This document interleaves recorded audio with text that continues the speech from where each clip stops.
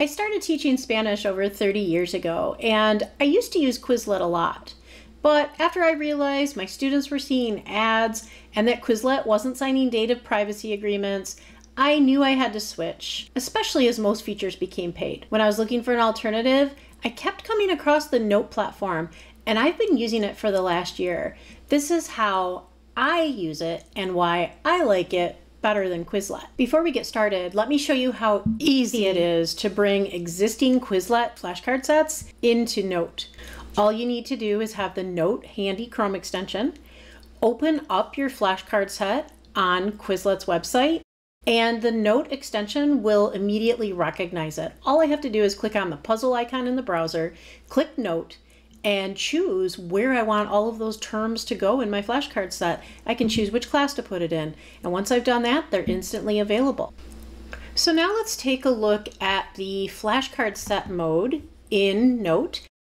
Students can click on each flashcard to flip between the term and the definition. And there's also a great feature on here called card sorting in which students can click with a green check mark on the terms that they do know, the red check mark on the ones that they don't know. And once they've gone through that flashcard set, they have the ability to keep reviewing the terms that they had marked that they didn't know, or they can restart. And Knowt also has a learn mode that students can use and they can customize how they use it whether they want to go through flashcards or multiple choice true or false questions, and they can answer the questions. If they get a question wrong as they're working with it, they can click to explain why it was wrong. And Kai, Knowt's mascot, will give an explanation. The next mode is the practice test. And again, students go in and customize their options, the number of questions, the types of questions, and they can even put in an exam date so they can make some plans for studying for an upcoming test.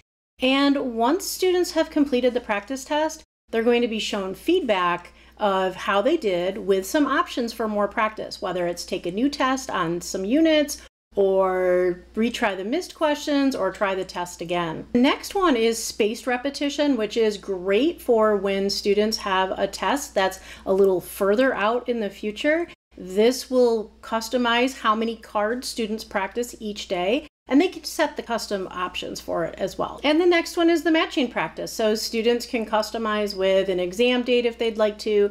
They can choose how many cards they'd like to match and whether they'd like to just choose to study the starred items only that they had marked for further practice. And once complete, students will receive feedback on that activity as well. And the great thing about it on the teacher side, I can go in and I can see the mastery of my students. I can look at that student dashboard and be able to see how much time students had spent in each practice mode and their percentage of mastery. And on the card set itself, I can see the mastery per card in the flashcard set. Now, if I want to restrict students from particular options or study modes, I can do that by clicking on the button to set study mode restrictions. I can turn off a study mode if I'd like to, or I can turn off some options in a study mode if I'd like to limit my students' ability to do so. Knowt was a game changer in my classroom. It increased student engagement and it improved the student performance and it gave me the control on the teacher side to help guide my students as they were preparing for upcoming tests and quizzes. If you liked this video, please click like below and subscribe to our channel for more teaching tips. Thanks for watching and happy teaching!